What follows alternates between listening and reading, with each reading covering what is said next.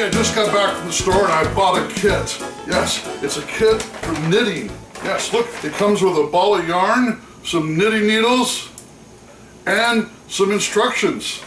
In fact, it shows on here where you can knit a hat, a, a scarf, a mittens, a sweater, socks, a blanket, so we can knit it whatever we want.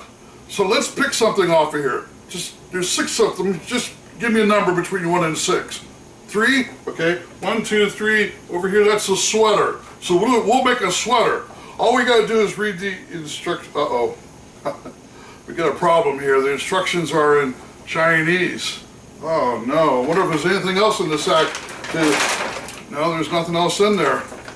Oh, okay. Well, I'll tell you what. Let's use the knitting needles, the ball of yarn, and some magic. So we'll put the ball of yarn inside the sack. I take the knitting needles, wave it over the sack, say the magic word, presto, and just like magic, I don't believe it. We got ourselves a sweater. Oh, now that looks like magic. What do you think?